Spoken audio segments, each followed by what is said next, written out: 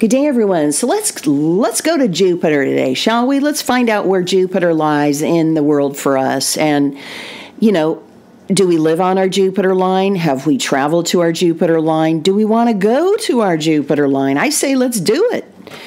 And first thing to look at, everybody has Jupiter lines, and some of them can be in, for example, I live in the United States. Some people can have their Jupiter lines right in the United States, or they may fall out of the United States in other parts of the world. Some people could have a Jupiter line in Australia.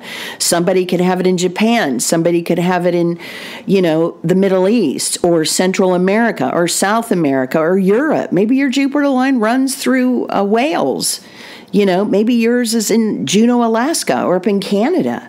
Everybody has a Jupiter line. And sometimes the Jupiter line may be out to sea somewhere. And if that's the case, it doesn't mean you don't have any Jupiter energies. It just means that that particular line for you is kind of out in a remote, you know, kind of out in a re- more of a remote area.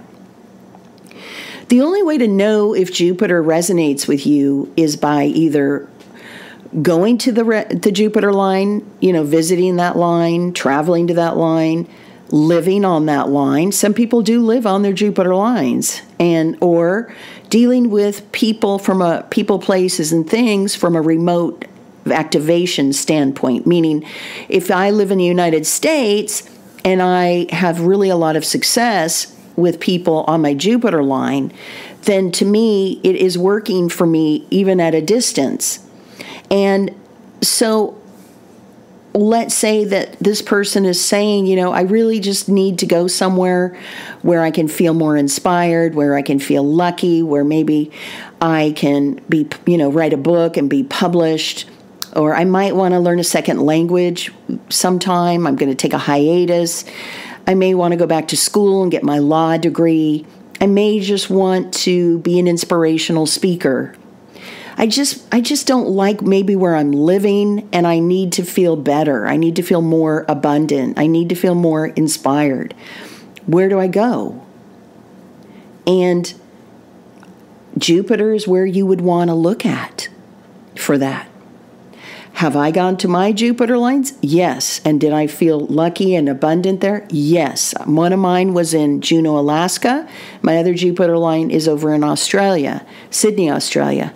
And I definitely felt abundance and inspired in both areas. I didn't want to leave and come home on both of my Jupiter trips. that I took. So when I went to Australia, I was upgraded to the concierge level. So I had all these free, great breakfasts and all this great stuff. And I was also approached and asked if I would be interested in a position uh, at one of some of the department stores. And I was like, wow, I'm not over there even looking, you know. And so it was it's that kind of energy and everybody will experience their Jupiter differently. You won't know how it feels until you either go there yourself or you're living on that energy yourself or you've learned about that energy yourself or you're interacting with people from that Jupiter line. And because you all have free will, okay, the experiences you have on Jupiter may be totally different from mine or someone else's. And I know someone who lives on her Jupiter line, and she told me before she even knew she was living on her Jupiter line, she said, You know, I just feel really good here. I don't see myself moving anywhere else. That's cool to me. If you live on your Jupiter line, that is pretty cool. That's what I have to say.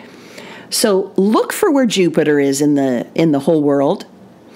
Find out do you live on your Jupiter line? Do you want to travel to your Jupiter line? Do you want to learn more about your Jupiter line energies? In this case, this person would be learning more about Sydney, Australia, and all the cities on the north of this, going all the way up to the green area. It's called, what's that city? Green something. Anyway, those are the areas where her Jupiter is in this example.